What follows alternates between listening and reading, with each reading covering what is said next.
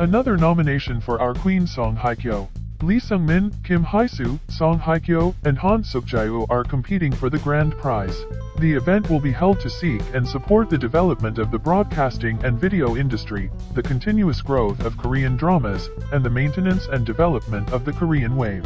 2023 Korea Drama Festival opens in Jinju on the 13th. Competition for Acting Grand Prize, Lee Sung-min, Kim Hae-soo, Song Hye-kyo, Han Suk-jae The 2023 Korea Drama Festival, a comprehensive drama festival in Jinju, Gyeongnam, will be held in the Namgang area from the 13th to the 22nd. The main event, the 2023 Korea Drama Awards, will begin with a red carpet event at the Outdoor Plaza in front of the Gyeongnam Culture and Arts Center on the 14th. Hosted by announcers Park Chan-min and Gong Seo-young at the main performance hall of the Gyeongnam Culture and Arts Center, 15 categories, including the Acting Grand Prize, will be awarded to domestic dramas that have aired on domestic terrestrial, cable, comprehensive, and OTT channels over the past year.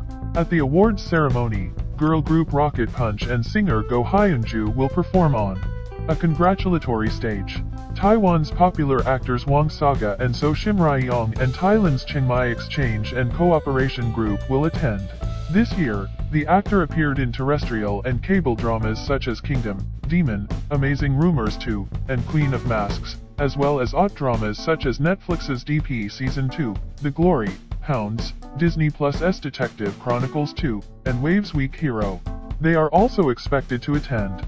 The acting grand prize nominees were Lee Sung-min of Criminal Record 2, Kim Hae-soo of Shrub, Song Hye-kyo of The Glory, and Han Suk-jae of Romantic Doctor Teacher Kim 3. The 2023 Korea Drama Awards will be broadcast live on Sokyong Broadcasting and Korea Drama Festival YouTube.